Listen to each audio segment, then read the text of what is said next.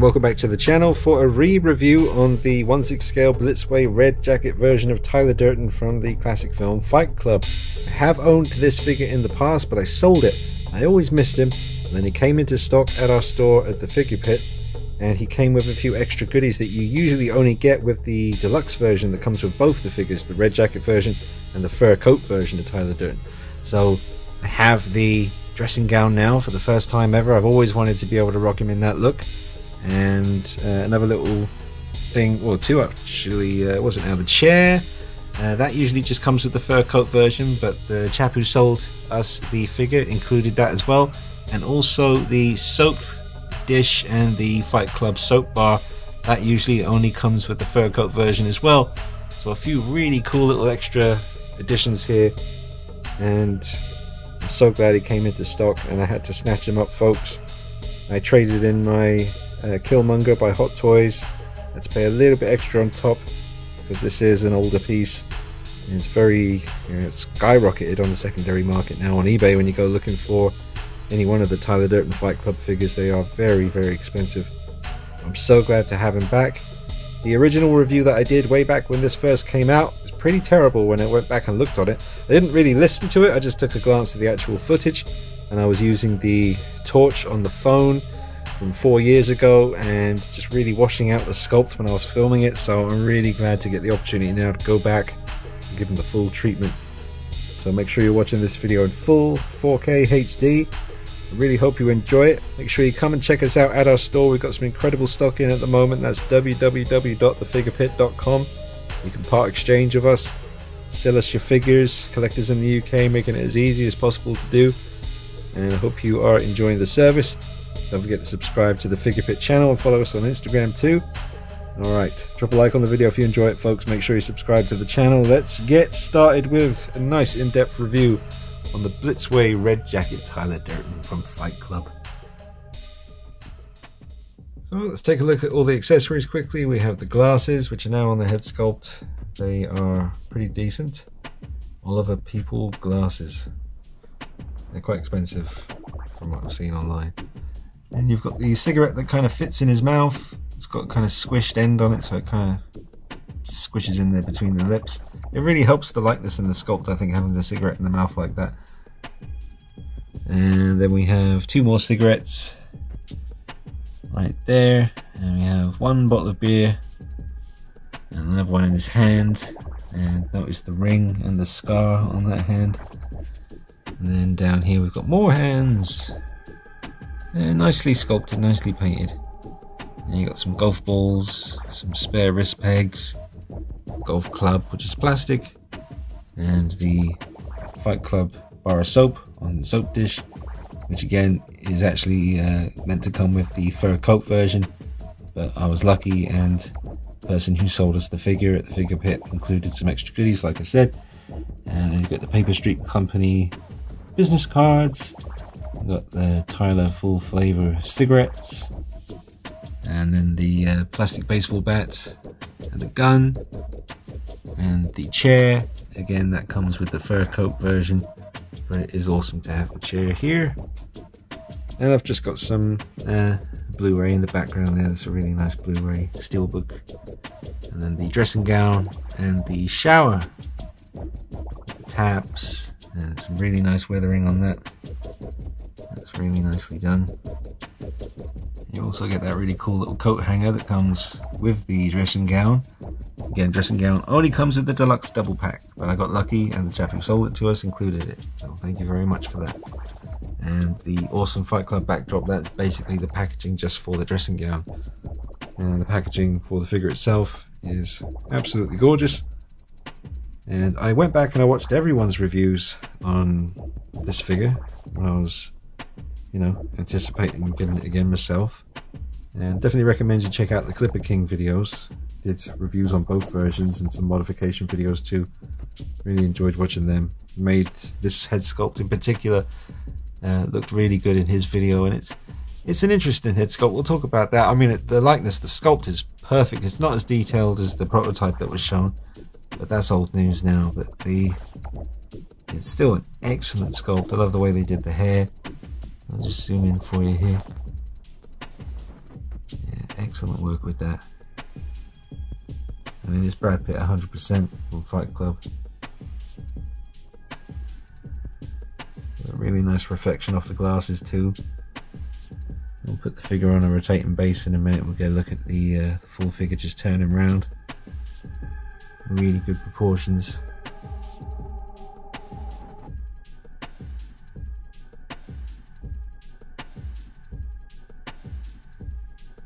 Alright, rotating base time and it's an incredible piece. it's an amazing figure, man. It really, really is.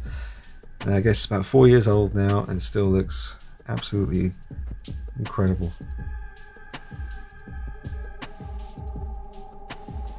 You get the light hitting the eyes as he comes around. twinkle. Yeah, man. I'm just really seeing the scene when he walks out of the bar with the narrator the first time they have a fight. It's just incredibly accurate.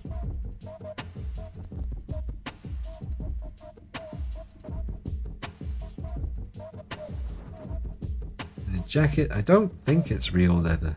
I could be wrong. I heard someone say in another review, you know, from years ago that they thought it was, but it is very thin I don't really, don't really get the leather smell off it or anything, but could be. I mean, it's very convincing. But the shirt is really well done as well. The collar comes over the top there perfectly. And these kind of track pants here. I actually watched a video last night about a guy who collects movie props and outfits and he actually managed to track down the actual screen used pair of these pants. I forget the name now because he was saying it took him like 20 years to finally find uh, find out the make, the brand of these, and I forget it now. But it is on YouTube. I'm sure it's easy enough video to find. And then these awesome boots as well. really well done.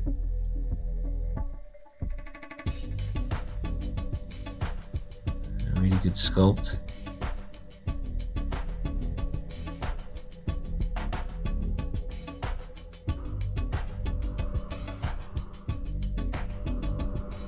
Everything just seems to fit perfectly.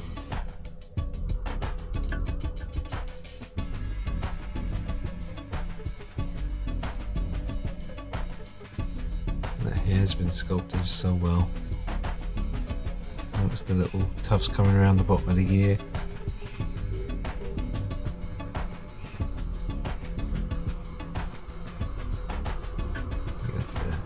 scuff on the side of the face there, on the side of the temple.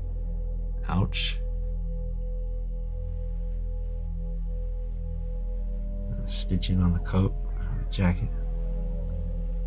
Beautiful work on that. And the shirt all up in there.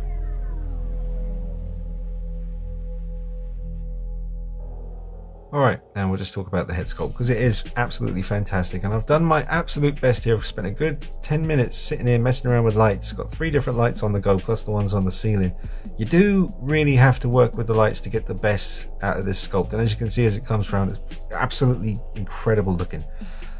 Um, but I have got, you know, a nice warm glow coming from above from the ceiling lights, another kind of warm glow LED lamp here kind of getting the hair and kind of coming over his shoulders and another light over here on the right. And we've even got one below us kind of shining up into his eyes to try and get a little bit of light you know glint of light in the eye as he comes around which I've managed to do there. Still got the cigarette in the mouth because I just really think it you know I think the mouth was kind of designed it's even on the box right there. You know there's a little gap in between his lips uh, where the cigarette kind of goes into. And yeah be very careful if you have the figure not to lose this particular cigarette because it's the one you know, you get three in total, but only one of them kind of fits in his mouth. I guess you could squish the end of the other ones if you wanted to. People have done it in videos. I'm pretty sure I've seen them rocking uh, the fully long, unlit cigarette. But the hair, I mean, I'm catching little light highlights here and there. I don't know if that's just the light playing tricks on me, but it doesn't seem to be just a flat, dark brown. There does seem to be just little flicks of blonde here and there. I don't know, it could just be the lighting. I've been debating with myself whether or not because I did do it the first time. The first time I owned this, I did kind of give in to temptation. I did add a few highlights in the hair myself, I could do that again, and I'd do it better this time because now I know that golden rule. you've got to use the right tools for the job. I'd use a very, very tiny, tiny brush, and just maybe some kind of sand color, and just just get in there and just give a few little highlights just to bring out the blonde a little bit. Might do it, might not, because I think in the bright lighting like I got going on here, it's just it's working for the figure in a big way. Just the the detail of the skin. I'll try and zoom in a little bit for you here. Alright, we're in a bit closer now and I have removed the cigarette from the mouth. So you're getting pure head sculpt, pure Pitt. And the details are incredible. Look at all the little, just the lines and the skin itself. That kind of fleckling, what's the word? Tiny little specks everywhere. Just to give it more depth and more realism. Excellent work with the hair as well. Yeah, got the little fuzz on the chin there. Fuzz action. Damn good sculpt. Great paint on this one too. But like I said, you really got to mess around with the lights to really get the best look out of this. Make sure I'll take some pictures, put it on Instagram and stuff. You guys can check that out. But I'm not sure, like I said, it might just be the lighting, but I swear I see some little flecks of highlights in the hair. Just little little bits. I know they did because my last one had very subtle highlights as well, but it was very subtle. This one might be a little bit more.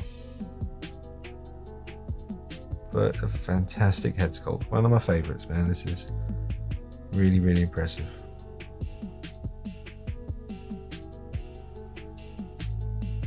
Now the Blitzway stand is a pretty cool concept because it hides the the rods here behind his legs. So he kind of just looks like he's just standing there unassisted but yeah it's a cool cool design. It's not the toughest thing in the world so be careful.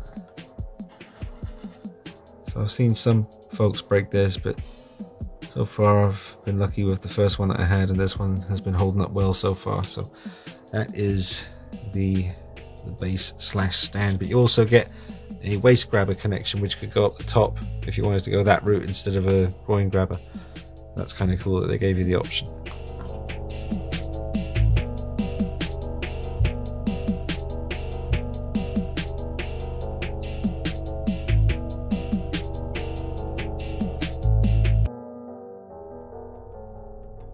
In the chair.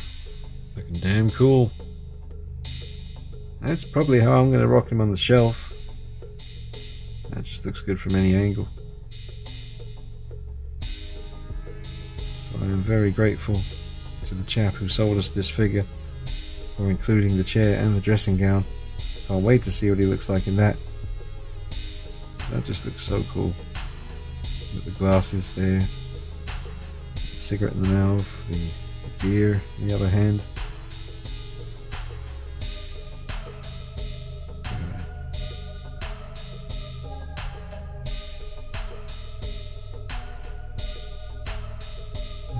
Essential piece, folks, if you're a fan of the movie.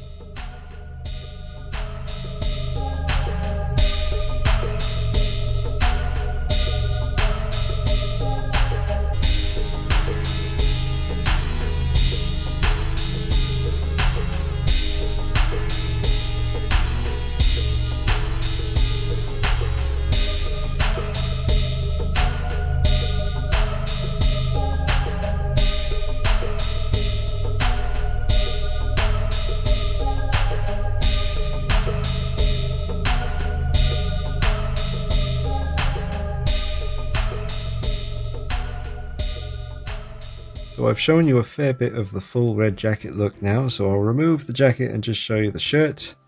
And then we'll switch it up to the dressing gown, which has been modified.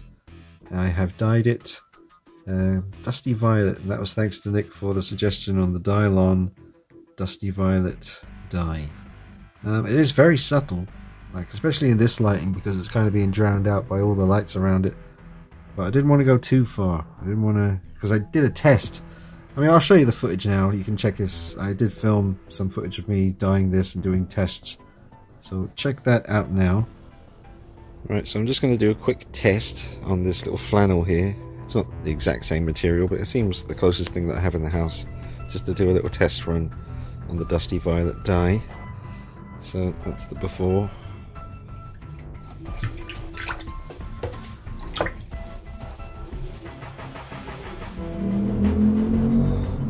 So the results on the little flannel here are a little bit more intense than I'd want them to be. I did in I did put quite a lot of dye in the the basin, so I might uh, a little bit concerned. It is kind of like this in the pictures that I'm finding on Google, but yeah. Anyway, that's how the flannels turned out. So, moment of truth. I need to make a final decision whether I'm actually going to do this. And here is the stock dressing gown by Blitzway. It's got some really nice weathering on it. Nice dirty grimy sections. But it is very white. So if I think if I just put in a tiny bit of dye into a big basin of water, just a little bit, hopefully it will come out nice and mild because I don't want it to be quite as intense as the flannel turned out. Okay. Ugh. Well, oh. Really seem to be taking. It doesn't seem to be having much effect here. Now when it's under the water it looks like it is, but then when you take it out, I mean I want it to be subtle, but not that subtle. It actually is having an effect. It's very subtle at the moment. Maybe I should quit while I'm ahead because you can you can you can see it, but it's very subtle. I might just put in a little bit more dye. Just give it one more little dose.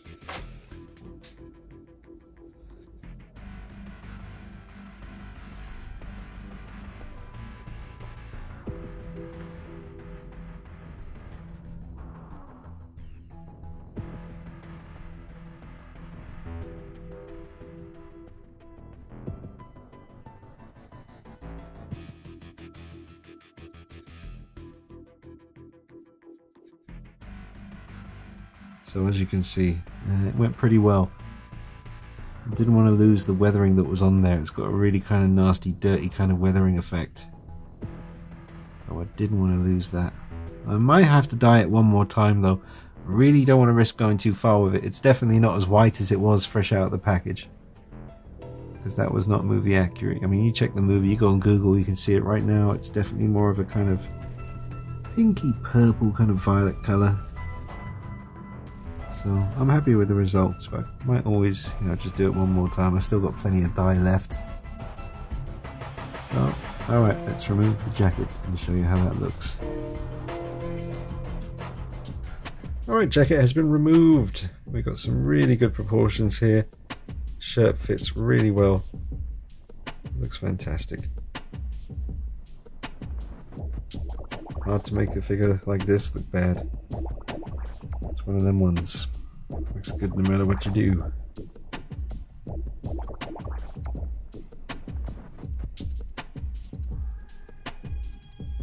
That's the look from when he first brings the narrator into his abandoned kind of house that he's staying in. He's showing him to his room. You'll see this look.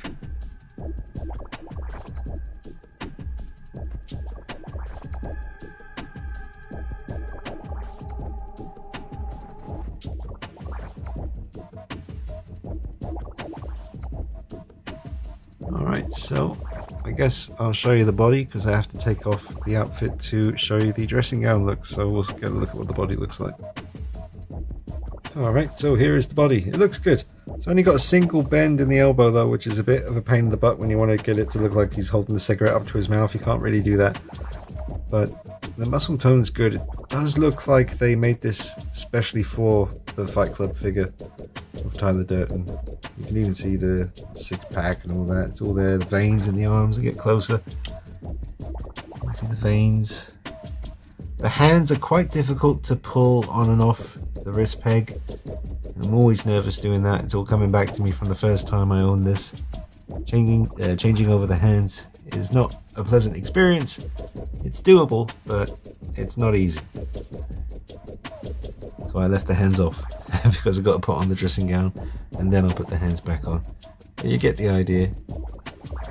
I think, I mean, I'm no expert on Brad Pitt's body by any means, but it looks pretty accurate to me. So well done, Blitzway.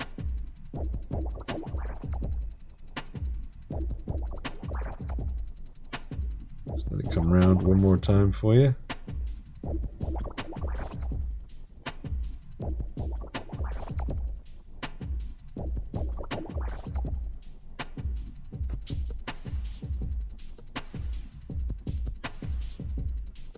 All right, folks, the dressing gown is on and it looks spectacular. It's very cool. The dye has had a beautiful effect, as you can see. It's nice and subtle. It hasn't turned it full on purple or pink. Had a really nice Sutton effect. And this is the way I'll be displaying them on the shelf for some time. It's a very cool look, also quite funny. But definitely reminds you of the scenes. Well, there's quite a few scenes in the movie, including some deleted scenes where you see him wearing this. But the main one that comes to mind is when the, the recruits start showing up on the doorstep. And he's coming out inspecting them and telling them to get the hell off the property. But they waited. And eventually Project Mayhem was underway. But it's just awesome. I love the dressing gown. It's absolutely fantastic. And the first time I owned the figure, the shower head accessory was always a really random one because I didn't have the dressing gown with the figure. But now that I do, it makes perfect sense because he's just got out of the shower and there's the shower right there. You can even hang your, your clothes hanger on there. And it's just a very cool look.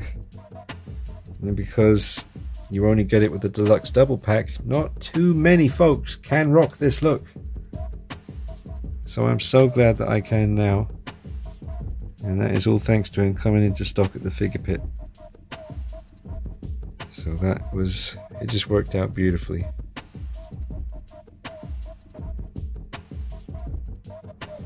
Alright folks, well I'm going to give you my final thoughts and wrap up the video. And it's an absolute pleasure having this back in the collection. Just such an important film for me growing up. Came along at a really crucial time. 18 years old.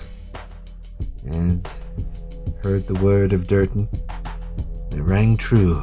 Not all of them, obviously, because he's, he's, mental, but some of it was. Uh, and along with Bill Hicks, the comedian, the late great Bill Hicks. Uh, anyone out there who doesn't know about Bill, the word of Bill, I advise you to go off and YouTube him as soon as possible. He's on Netflix as well. Bill Hicks, comedian, folks. But Tyler Durden, in one six scale. Absolutely awesome job by Blitzway. Now, if I was going to give you a score out of 10, I can't remember what I gave it the original time I owned this and I reviewed it all those years ago. Um, and I have to bear in mind, it's a bit odd me having the dressing gown and the chair and the bar of soap. Where's that? It's over there somewhere.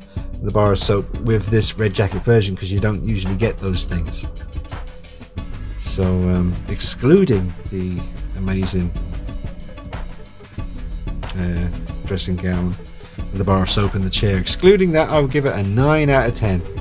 And the reason it doesn't get a 10 out of 10 is because the eyes should be blue and the hair could be a little bit more highlighted with blonde highlights, but it's not. So I'm just being really, really uh, harsh there. I mean, it's, it's clearly a masterpiece, 1 6 scale figure. I would say anyone who gives this a 10 out of 10, fair play to you. I'm almost there myself. It's, you know, could easily get a 10 out of 10, but the, um, do you know what? I haven't actually, let's go in and actually check, double check with really bright light what color the eyes are, because I've heard so many people say they're not blue.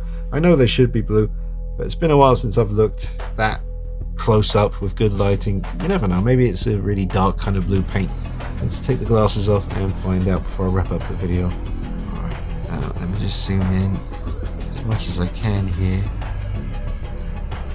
I mean, it's not exactly brown, is it? If you really get in there, I'm seeing some blue. It's just dark. No, I don't think they've painted those brown. Yeah, there's definitely some blue, especially with that one. And that you can really tell that's Brad Pitt as well. Even this zoomed in, you can tell. No, they're blue, man. There's some blue eyes right there. Alright, 10 out of 10, screw it. Yep, 10. they're just they're just really kind of dark blue and it's very hard to kind of see it because it's 1 6 scale but I mean I, was, I, just showed you you get right up in there there's some blue eye action it's got blue eyes damn it this is the uh, the you know the bonus of it being a few years later after this figure came out and everyone reviewed it.